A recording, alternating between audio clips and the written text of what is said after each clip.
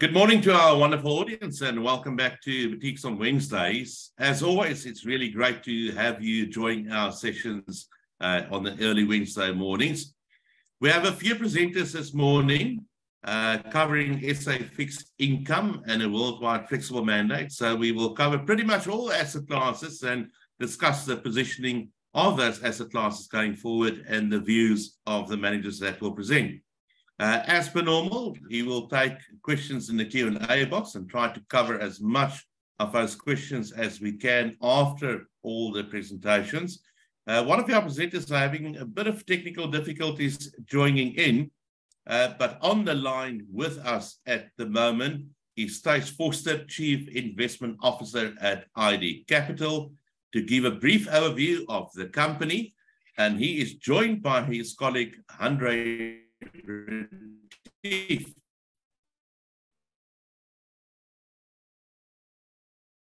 uh, for an update on the ID Capital BCI. Uh, we are trying to get Mel from Platinum Portfolios on the line as well. We'll see how that goes. If not, we'll continue with the session. Uh, but for now, thank you for joining Thijs and Andre. Uh, really grateful for your time this morning and we're looking forward to your presentations and you can start when you're ready, sir. Thank you, Eugene. I'm just going to share my screen with everybody quickly. Just tell me if you can see that, Eugene. Absolutely perfect. Okay, great. So Eugene, thank you very much for the opportunity once again to present to, to the esteemed, uh, my esteemed colleagues, co-colleagues uh, in the financial services industry. I'm just going to, as Eugene said, give a brief overview of uh, our company. Um, so ID Capital, we are a member of the IFSP group of companies. We've got a few other sister companies as well that um, basically service individual clients, IFAs, uh, we've also got trust and fiduciary services, and uh, we've also got some tax uh, component as well.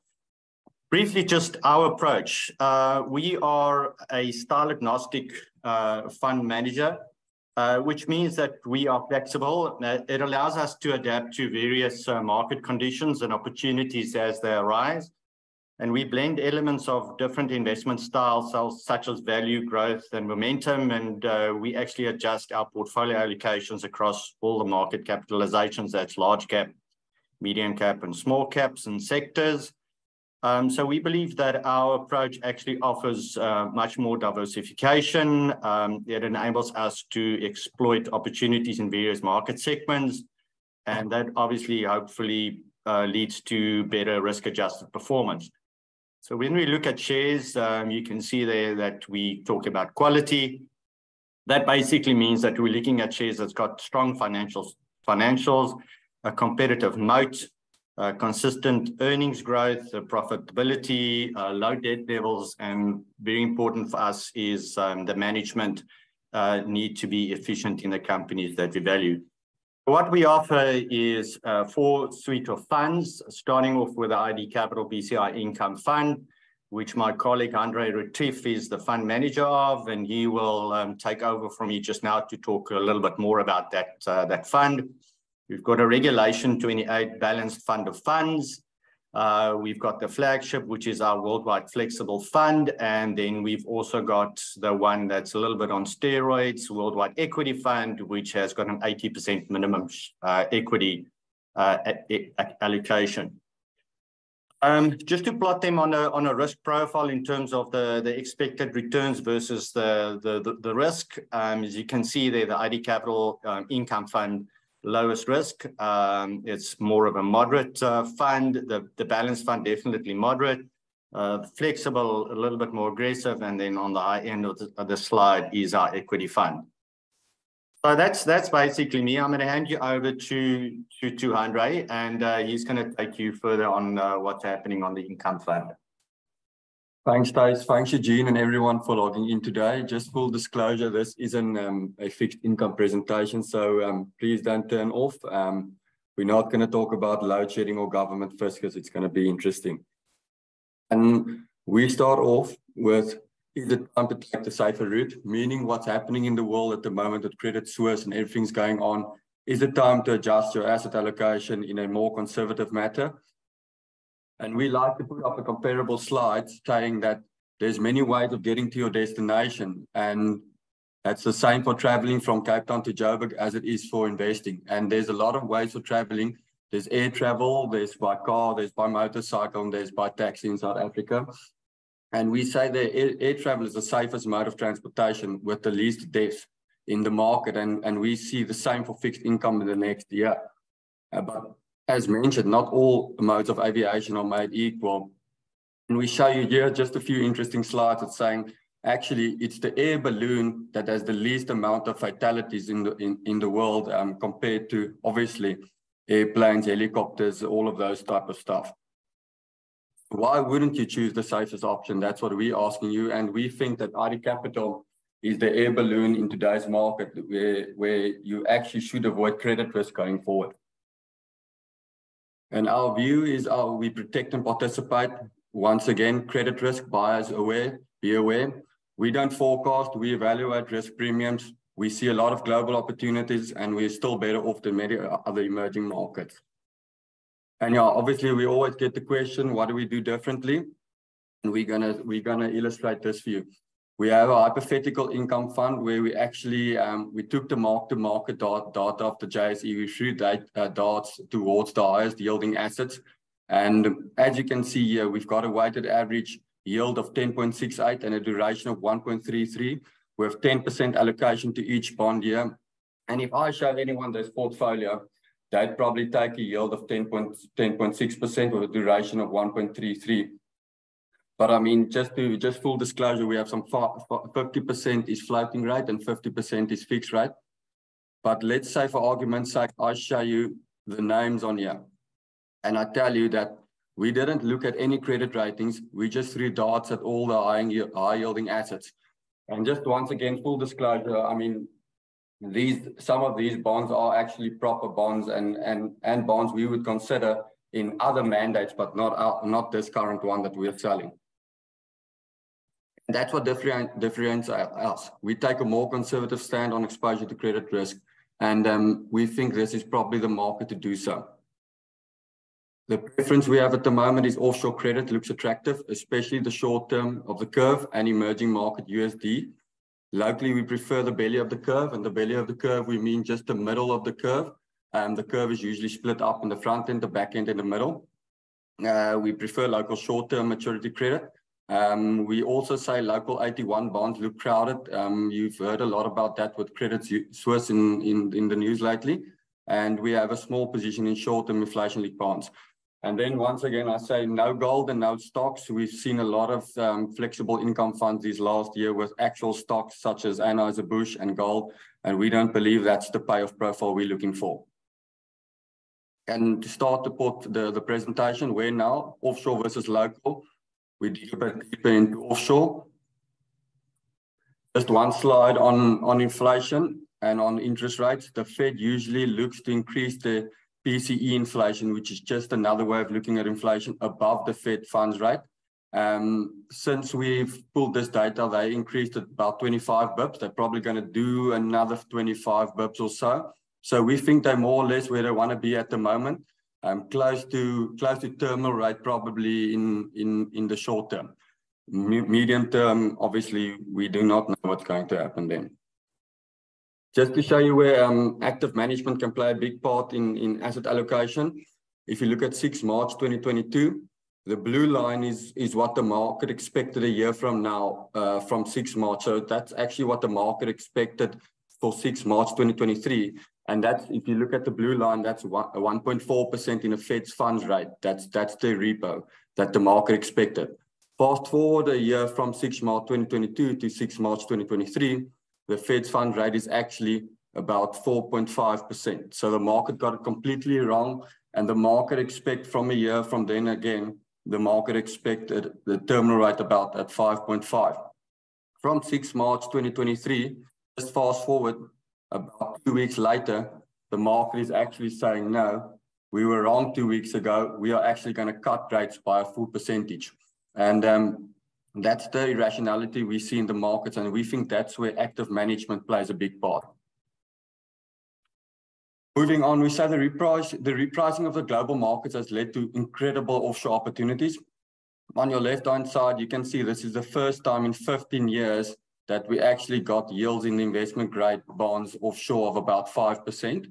And then on your right-hand side, you can see the bottom line was the yield curve, the US yield curve a year ago, and the top line is the US yield curve now. And you can see a year ago on a six-month treasury, you got about 1%.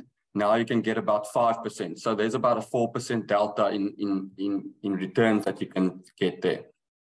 So by way of example, um, we always like to show examples. You can take a Sasol one-year maturity in USD dollar denominated, you can get about 7%. And if you swap out the currency, you can get, get about two and a half, 2.6% um, for swapping out the currency. So that equals about 9.6% in ZAR for one-year maturity paper. So we compare that. We compare it against the one-year NCD, that was Investec NCD. At point in time, it gave us about 8.75. And if you interpolate the government bond yield curve, because there wasn't a, a one year, exact one year government bond at that time, you get about 7% in ZAR. So you get about a 2.6% pickup versus the government bond curve if you buy the Sasol one year USD and swap out the currency.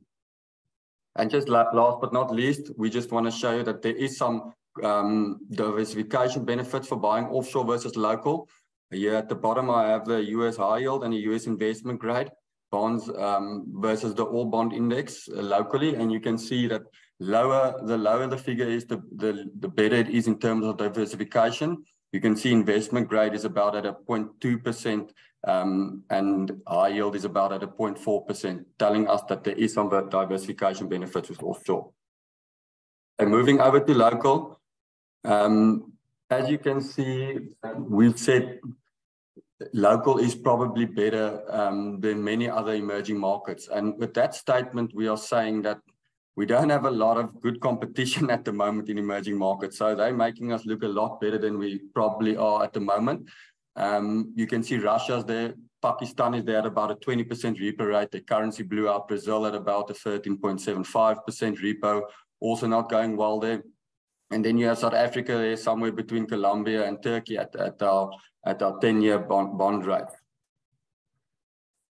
It's probably important for everyone owning some uh, owning houses at the moment. So the market says the repo rate one year from now is probably going to be flat at about the seven, seven and a half percent um, that we're currently seeing. But that doesn't mean in the short term, we're probably going to do a 25 basis points, maybe another 25, dependent on, on what inflation and growth does in the short term. But the market's expectation for now is one year from now will probably be flat when we model that, um, we obviously say, like I've mentioned, we've got the front end, the middle end, the, which is the belly, and the back end of the curve. And we do think that that the, the middle end, the belly, is probably fairly valued at, um, and and that's what we prefer at the moment. We do not think it's we do not see excessive value like the rest of the market sees at the moment, but we do think there is a bit of duration, especially when interest rates um, um, increases stop or just flattens out from here.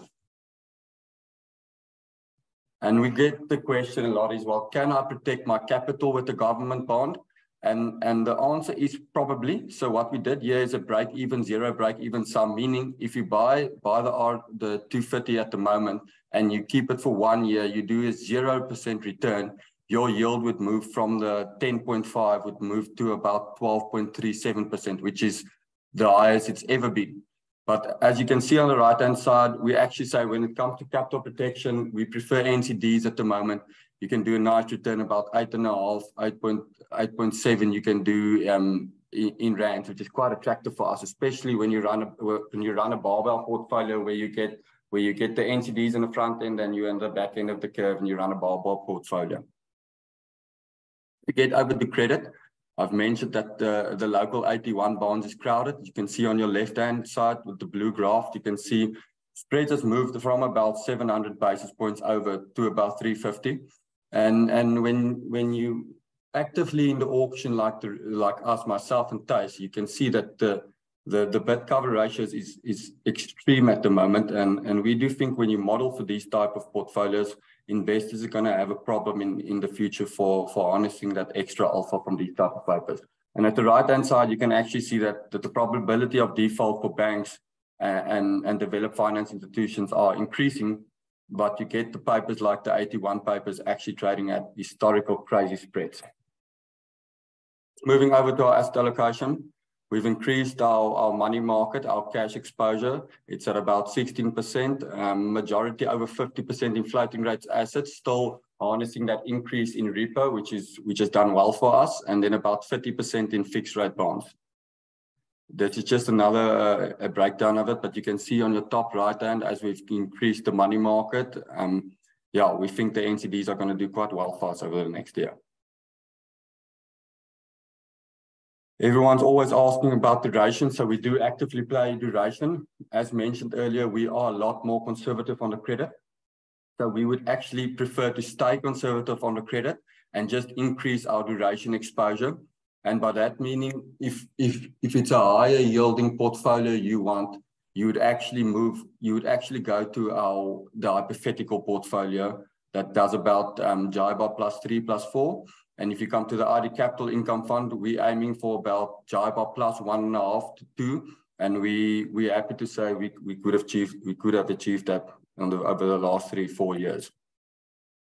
Yeah, thank you for your time. Um, just want to say that our fact sheet is, is on our website. Um, we prefer that you invest in the B class. It's a lot cheaper when you look at the money, uh, Moneymate and, and the Morningstar figures. It's our A class on there. It's a lot more expensive. So from our side, we sell the B class and, and it's done quite well. We think, just to summarize, we think credit risk is going to be real in the next year. We think you want to be in a low credit risk environment, rather take a bit more duration risk to harness that alpha. And yeah, be safe, be safe from credit risk, and thank you for your time. No, thank you very much for that. I see uh, Mel was able to join us as well. Uh, good morning, Mel. I just want to check, can you hear us fine? Um, yes, I can. Mel, thank you so much, and uh, apologies for those hiccups with getting connected, but we're very glad to have you on our session as well.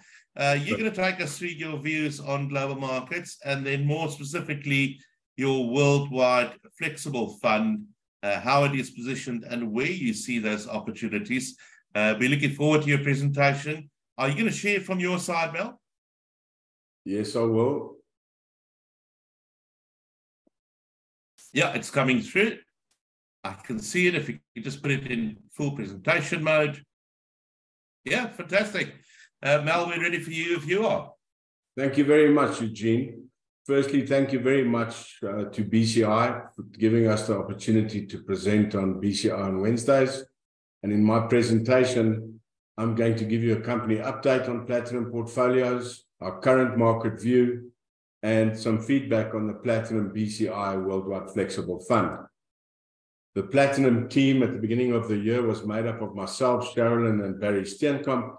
And since then, Stuart Green has joined us um, as an analyst on our multi-manager solutions. And we're delighted to have Stuart as part of our investment team. Just a reminder regarding Platinum Portfolios' process. We like to keep things simple and we only buy quality companies that have a durable competitive advantage. That is to say, companies that have got a wide economic moat. We do all our own research and have a deep understanding of the companies we invest in. And in all instances, any business that we buy into must be a business that makes sense to us, and it must be a business that we understand. Lastly, and most importantly, we cannot pay an inf infinite price for any business, and that the price we pay has to fall within the ambit of our fair value calculations to give our clients a real return over time. So what do we believe is currently uppermost on investors' minds? Global inflation has shot up across, across all regions in the world, which has caused, caused central banks to raise interest rates aggressively. Um, there is currently risk of a US recession over the next few months, we're going to look at the South African investment environment, which we believe has got a lot tougher. And then obviously China's reopening at the beginning of the year provided good liquidity and we had a good run in commodity stocks, which has since fallen back slightly. So if we look at this graph, which is a graph of the US um, inflation rate and the different metrics, CPI and core inflation, going back to 1973, we can see that it's our view that inflation peaked in October of 22. And on all the metrics, headline, core, food, energy, that are measured in the States, we can see that inflation has come off, but it has remained stickier for longer, primarily driven by a very, very strong labor number in America. Employment numbers are very, very low in the States. The inverted yield curve, which I mentioned, and this graph goes back to 1971, which gives you an indication of all time periods when the short dated bonds were higher, yielding higher yields than the longer dated bond, bonds or the 10 year treasury in the States. Going back to 1971, an inversion of the yield curve has always been a precursor to a recessionary environment in the States. So, this to us is one of the signals that shows that the American economy is possibly going to enter a recession, or be the fact that labor in, labor in America is very strong and the, the percentage of people unemployed in America is the lowest it's been in a very, very long time. So the jury is out to see what is going to happen to the American economy, but the inverted yield curve to us is a red flag. Looking at fundamentals, which is where we, we try and focus our, our research and determining what we buy or sell, if we look at the right hand bar chart, we'll see those are analysts' annual earnings projections going back for quite a period of time to 1996, you can see in all instances but one, analysts were over optimistic on earnings projections. So if we look on the left-hand side bar chart, the current analyst earnings estimates we believe are too high and that we, we believe that earnings coming out in quarter one and quarter two, that the analysts will start adjusting their earnings estimates. Analysts currently are saying that the S&P is going to earn 240 Rand in 2023. We personally believe that's over optimistic. So if we look at the current stats on the S&P 500 index, we can see on all ratios, the simple forward PE ratio, the CAPE ratio, dividend yields, price to books, etc. On all ratios, the S&P 500 is not cheap. The market's not cheap, and we find it diff difficult to find any value in this current market.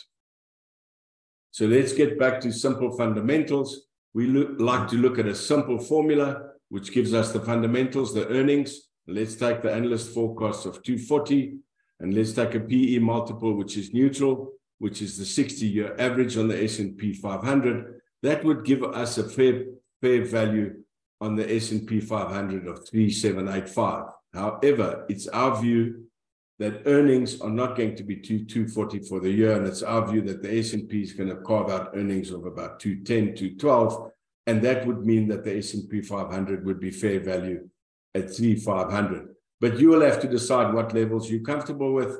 We are currently not very comfortable with the level on the S&P 500. So based on current fundamentals and earnings projections, as I pointed out, we feel they're far too optimistic. As we all know, the Fed has raised rates aggressively over the last year from a low of virtually zero interest rates to where we are stuck now at about 5%. These rising interest rates have given, given rise to the short banking crisis that we've had in America, and we've seen three banks already being getting into trouble. One of the banks, Signature Bank in the States, is the S&P 500 company. We've seen SVB Bank in trouble. We've seen Credit Suisse in trouble. And we believe that these, these are all caused by the rising interest rates. And in fact, if you go back to the UK economy a few months ago, they had a similar crisis because of the rising bond rates that have caused, caused, caused bank balance sheets to become stretched. So we don't think that that's over. We think there are still more surprises to come because of this rising interest rate environment. Additional to that, we feel that the monetary policies and the financial markets take the, the monetary policies take much longer to have an effect on the market, and the, and the monetary policy by the Fed has long and variable effects on the economy, and that takes quite a while. Although inflation has peaked, and this has encouraged markets because that market, market participants believe that we're entering a period of lower inflation and they've been focusing on growth stocks we believe that there are inevitable lags that are going to present themselves in the market over the next few months.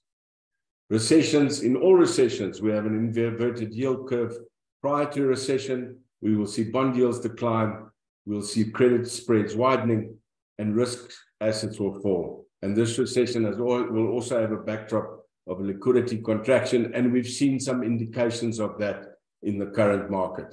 So the reaction might be delayed, but we're paying close attention to the fundamentals. Summary and conclusion on markets today. On company results and company projections, we've seen a lot of cost cutting by companies, specifically the tech companies, which we, we believe is primarily due to the fact that they see slower earnings growth going forward. We feel that companies are giving us warnings that in their earnings, that earnings are going to be under pressure. So we believe we'll see continued earnings revisions going forward over the next few months, and that current valuations are expensive.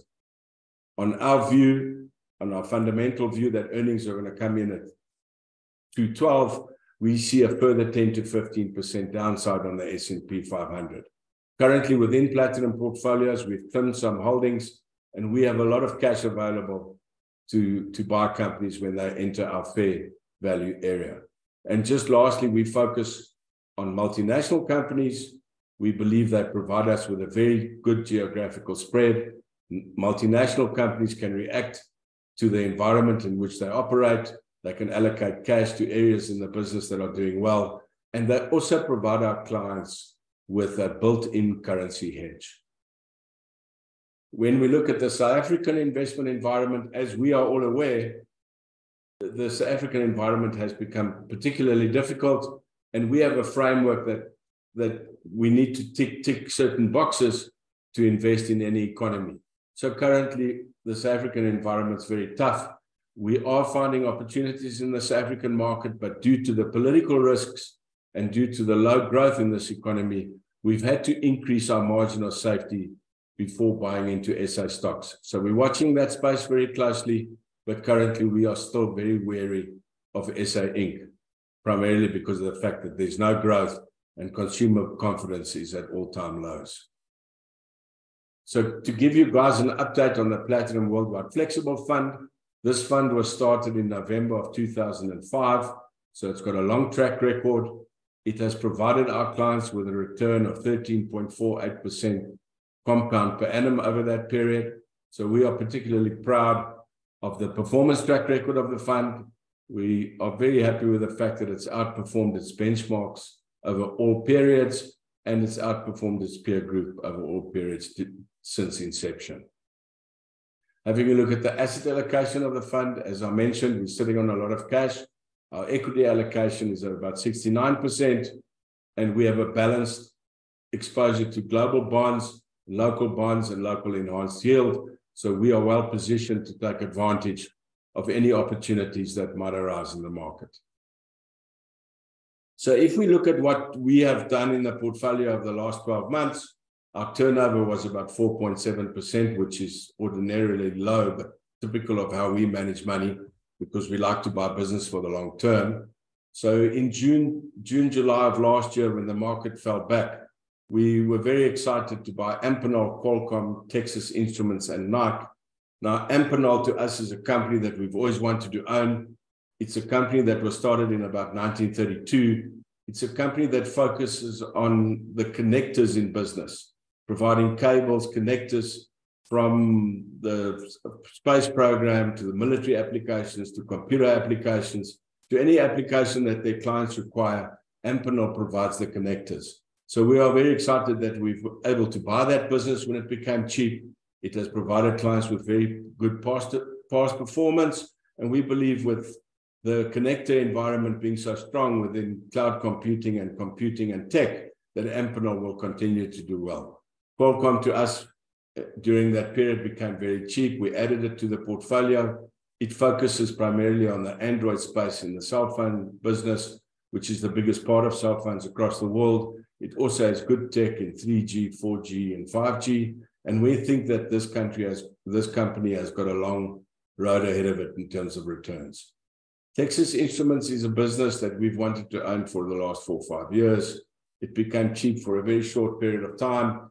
It's the company that produced the first transistor in the 40s. It's a company that produces analog chips in many, many applications across the world. So it's got a wide moat.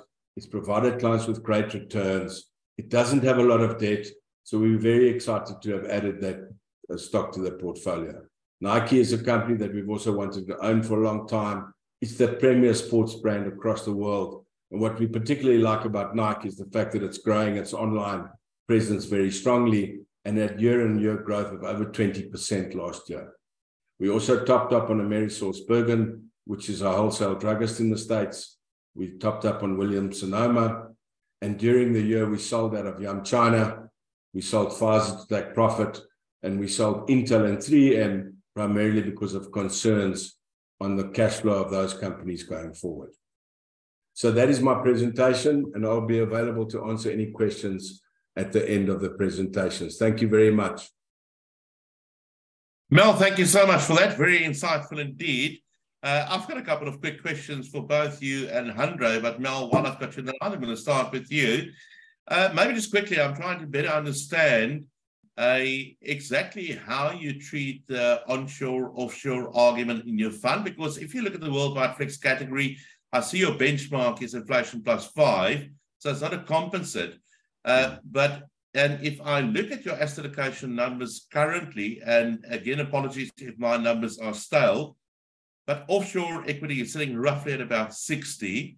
Uh, it might have been trimmed in the meanwhile since I've got the numbers. And SA equity roughly at about 8.7, it's called at 9%. You did say you are wary of SA Inc., but I mean, that's that's probably about 30% of the SA market. And you also mentioned that the MSCI, or specifically the S&P 500, you know, it's expensive. So, and you know, there's there's a big cautionary out there from your side in terms of maybe another leg down. So, how do you see the world at the moment when you look at asset allocation? Uh, what is that 60% offshore, or what is that number at the moment? And are you looking to increase things like SA equity, but not necessarily in the SA space? Yeah, just looking at the number, the number hasn't changed since you've received your numbers, Eugene. Um, so in every instances, we like to own businesses and like companies that that we believe on our projections are going to provide real returns in line with the benchmark. Um, so if we look at SA, there are various companies. When I talk about SA Inc., I'm talking about SA companies, not companies that are exposed to offshore markets like our top eight or nine stocks. Yes. Um, and we will buy any of those stocks if they fall within the framework of what we believe um, meets all the benchmarks. So to us, that's important. We we don't like to overpay for companies, and they must and they must meet our requirements before we invest in them. And importantly, they have to trade at fair value in terms of our research. So whether it's SA or offshore, um, it it's it's regard we don't regard that as a requirement. But importantly, we do have a lot of enhanced yield in South Africa because there we get a real return without taking out a lot of risk. I totally understand that. Makes a lot of sense. Uh, in terms of the dollar, we all know that the dollar uh, is very pricey at the moment, and the rand probably undervalued, but also under, other currencies, currencies undervalued relative to the dollar. But if you look at where the world is going, the whole issue around deglobalization uh, taking place, and maybe to some extent some de-dollarization. I know there's no such word, but let's use that for now. Uh, what do you think could happen to the US dollar, you know, in the foreseeable future? Are we going to, uh, is it going to lose some steam? And do you, do you consider that, or is that a potential risk for a portfolio with predominantly global exposure? Well, let's just go and have a look at the dollar as a currency of last resort or reserve currency. I think over the last 20 years, the dollar has the dollar deposits worldwide have declined by from 70% to around 60%. So, uh, and the dollar since I think 1948 has devalued by about eight times. So when it comes to the way we look at the world, the reason we buy multinationals is because that gives us a diversified exposure to all currencies around the world. And secondly, those companies are much better measures of product productive environments in which they work. So we would not like to hold any specific currencies even the dollar over a long period of time, because that's a license to lose money over time, yeah. because all currencies will become worthless over a longer period of time. So we prefer to buy good businesses um, that are geographically spread instead of focusing on one currency. So, in the true sense, a true worldwide flexible portfolio, and you'll shift as you see the opportunities arise. Uh, Andre, maybe just a question for from my side to you, uh, and it speaks to where rates are going. We, we've seen the rate, uh, well, the Fed didn't pause yet, but they're obviously slowing the rate of uh, increases, especially given what's going on with SVB. It could be to create a little bit more financial stability. But could you see that the SARB actually starts to decouple uh, from developed markets, uh, the Fed and probably the ECB, where we could see potential rate cuts in SA sooner than developed markets? Well, Eugene, we know we're not economists here, but I mean, let's look at it fairly easy. Is in, in, in terms of core core inflation, we don't really have core inflation. We have we have a problem of headline inflation, which is driven by by global factors, not not the same factors that's driven in South Africa. So I'll give you an example. We don't have that type of um, wage inflation that that they see in the US and and a shortage in labor markets. So if you see the whole global inflation coming down and you see food inflation easing as well, it's supposed to be a leverage factor to South Africa. We're supposed to see the decrease be a lot quicker than the rest of the world. But we haven't seen it in the food inflation, which is quite a big problem for us. And obviously, the currency is a big, a big problem for us. So if you talk to SARB, the two biggest problem, the two biggest inputs they have in their models are probably oil and the currency.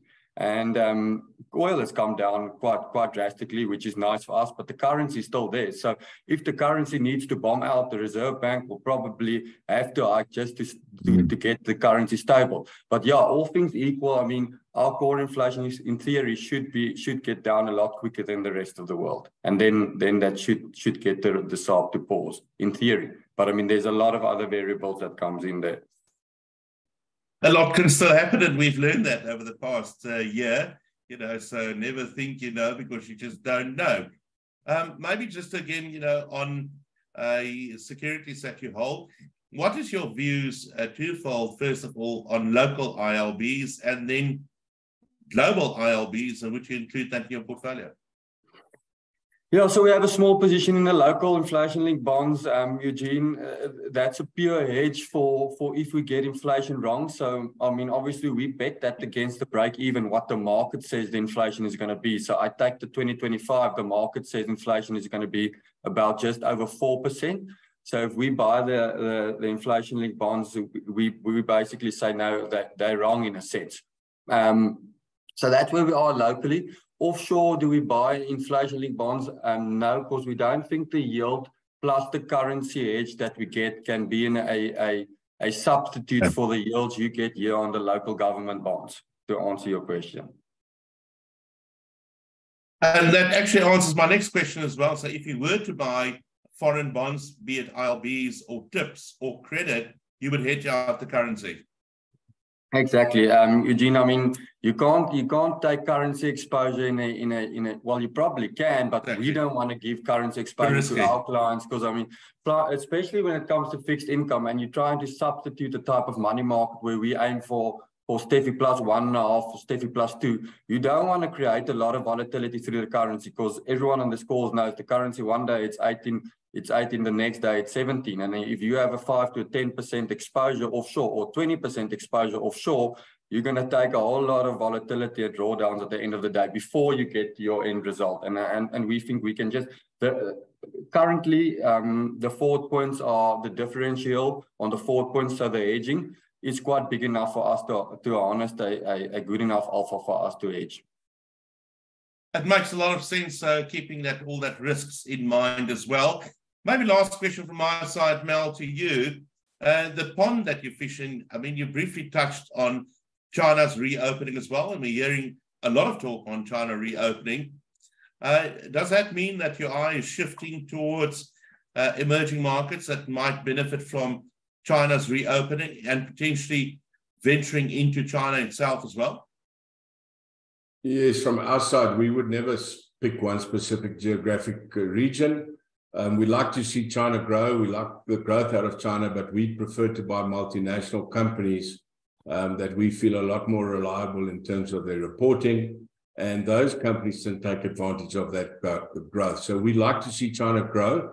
And, um, you know, we have got an exposure to BHP in the worldwide flex, but if some of these uh, larger companies become palatable, palatable to us and we see good value there, we might add that to the portfolio. But in essence, we prefer to buy multinationals than to specifically go and buy a company in China because we don't speak Chinese and we prefer to buy companies that we understand.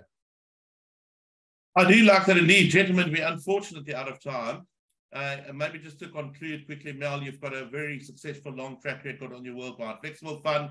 It's been going forever and a day. And if you showed you can you know how to manage that onshore offshore argument, taking all that misery away from uh, people like myself having to make this kind of calls. Uh, Andre, your portfolio may be not that old, it's fairly new.